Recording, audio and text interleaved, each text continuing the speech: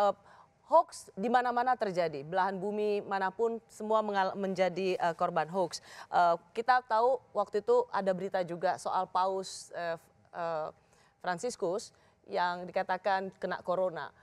Banyak yang tidak percaya karena itu ah uh, belum tentu kebenarannya. Tetapi ketika Tempo.co ID menurunkannya juga, .co. Kemudian bilang tidak mungkin Tempo menurunkan satu berita yang tidak benar. Bagaimana klarifikasinya Arif? Saya kira uh, itu untungnya cepat diketahui ya. Saya uh, ikut dalam rapat-rapat uh, lewat berbagai grup percakapan. Jadi itu dikeluarkan pagi hari, diambil dari sebuah sumber dari sebuah kantor berita asing, ya itu muncul lalu kemudian uh, ditulis tapi kemudian belakangan dengan cepat didap, uh, diperoleh informasi yang lebih sahih bahwa itu tidak benar memang betul Paus waktu itu sempat keluar dengan membawa tisu ya. sehingga uh, tampak Abu -abu. seperti sakit dan dan itu cepat sekali di, dikoreksi nah buat saya sebetulnya kesalahan atas sebuah pemberitaan itu uh, mungkin sekali terjadi karena sebetulnya media kan bergerak dalam sebuah koridor yang kecil, koridor yang terbatas, dibatasi waktu, dibatasi ruang, dikejar deadline dan sebagainya dan mereka harus uh, bekerja dengan tepat dengan keterbatasan itu. Hmm. Nah, manakala dia melakukan kesalahan, maka yang pertama sekali adalah dia harus me melakukan ralat. ralat. Nah di dalam uh, di Dewan Pers kita sudah punya aturan-aturan sebetulnya bagaimana meralat dalam sebuah platform digital. Misalnya ketika judul salah itu nggak bisa langsung ditimpa saja dengan judul baru karena di, apa publik tapi akan dibohongi tapi ada di bawahnya dipenjelaskan bahwa ini adalah koreksi atas judul sebelumnya dan hal-hal okay. seperti itu. Jadi tapi itu menjadi kekhawatiran nggak bahwa ternyata media arus utama sendiri juga bisa termakan hoax. Exactly. Padahal media arus utama sesungguhnya harus menjadi clearing house atau rumah untuk pelurusan berita, betul. pelurusan informasi. Betul, betul. Bagaimana kemudian kalau kita dituduh sebagai jurnalisme sudah sampai titik nadir, etika sudah tidak ada, karena kita ikut mengekokan atau menyebarluaskan hoax itu. Betul, itu saya kira itu kritik yang sangat baik ya. Saya kira media kan bukan sebuah uh, eh, apa, ya, institusi yang yang imun dari semua kesalahan. Saya kira itu bagus sekali dan media memperbaiki diri.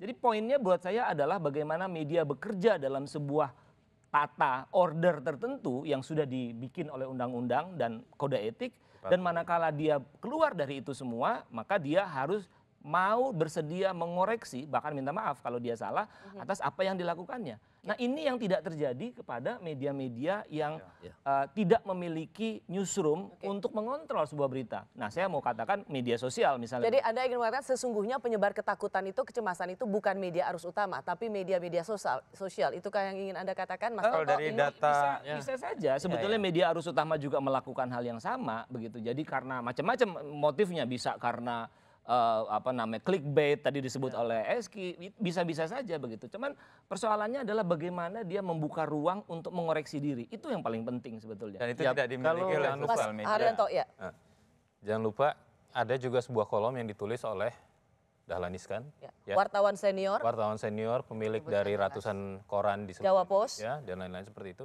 Itu juga dengan sangat jelas dari pertama kali dia muncul bahkan dia menyebut siapa reporternya dan lain-lain seperti itu menyebut nama-nama yang dis, uh, dis, yang menjadi pasien sub, uh, suspek seperti itu walaupun kemudian dua tiga hari setelah Turun. tulisan itu keluar lalu kemudian juga muncul ralat tapi yang saya lihat kemudian komentar-komentar di bawahnya luar biasa yeah. artinya lalu kemudian di sini Jangan lupa media itu juga sekarang diawasi oleh warga ya. ya. ya, ya. Dengan perangkat seperti ini warga kemudian juga bisa bersuara dengan cara yang berbeda-beda, bisa dengan nada yang sangat keras ya, ya. sampai yang sangat lembut. Bahkan kita juga langsung mendengar bagaimana orang yang disebut sebagai suspek itu juga kemudian bersuara begitu ya, yang ya. kemudian juga itu menjadi viral dan lain-lain seperti itu. Jadi saya kira memang masyarakat ya bagusnya lah kalau ini uh, media masih mau mendengarkan kritik dari masyarakat begitu ya sehingga lalu kemudian ada keseimbangan semacam ini. Kalau media arus utama uh, apa lebih enak hidupnya kalau bikin salah tinggal ke dewan pers. Tapi coba kalau netizen yang bikin salah oh, langsung ITE. kena undang-undang ITE. Enak banget hidup wartawan. Ada tanggapan? Begini kalau saya media jadi media mainstream itu ya kalau kami ya menyampaikan begini semangat kita untuk mengkoreksi kesalahan harus sama besarnya semangat ketika ketika kita memberitakan.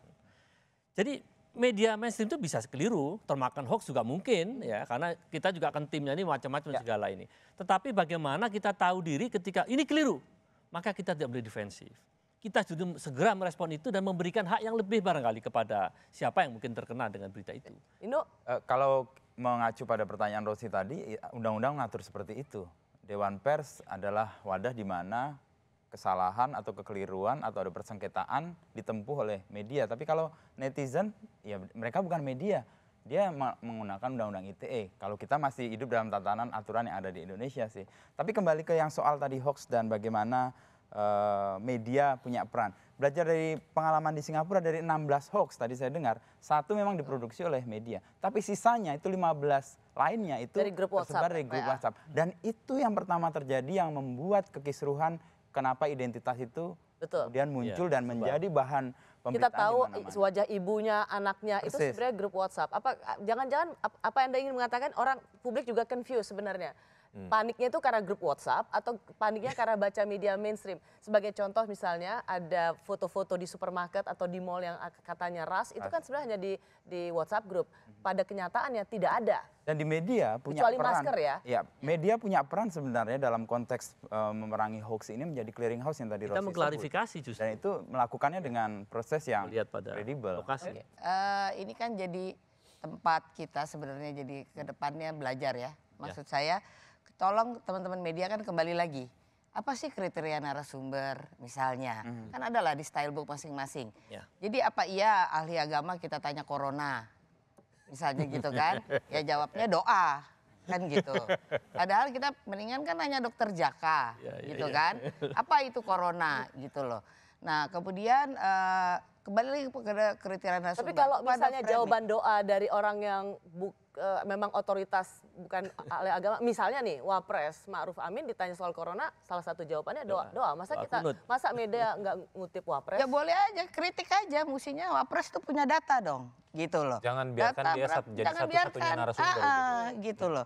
Kasih sumber yang lain sehingga lalu kemudian uh, uh, publik jadi akan tahu bahwa oke Wapres Ya. ngomong begini tapi jangan cuma dia sendirian yang ngomong tapi ada ada orang Ya. lain yang lebih punya Yang memiliki otoritas. latar belakang Otoritas, sains. Betul. Ya, kayak Medis. Betul, kembali lagi ke soal check and recheck kan ada gitu ya di WhatsApp ketika dapat di apa soal identitas pasien, saya langsung saya sendiri saya delete dan ada salah satu grup saya marah, ada yang kasih saya marah gitu loh. Jadi kitanya juga ada introspeksi.